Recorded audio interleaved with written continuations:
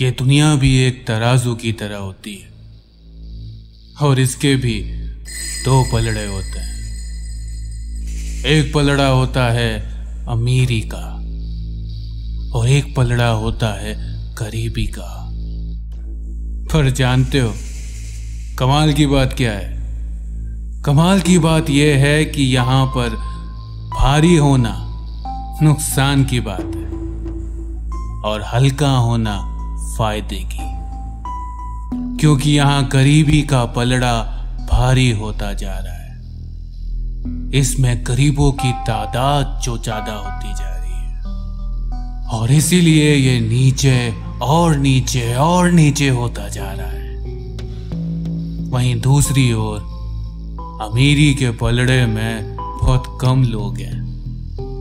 और इसीलिए वो ऊपर और ऊपर और ऊपर होता जा रहा है। तुम कौन से पलड़े में हो, ये तुम ज़्यादा जानते हो। मगर मेरा एक मशवरा है मेरे दोस्त। तुमने ये सुना तो कई बार होगा, मगर मगर आज इसे समझने की कोशिश करना। अगर वाकई तुम्हें ज़मीन पर रेंगते हुए मरने की बजाय खुले आसमान में उड़कर जीने की तमन्ना है। तो जितना जल्दी हो सके, इस गरीबी के पलड़े से, उस अमीरी के पलड़े में छलांग मार दो।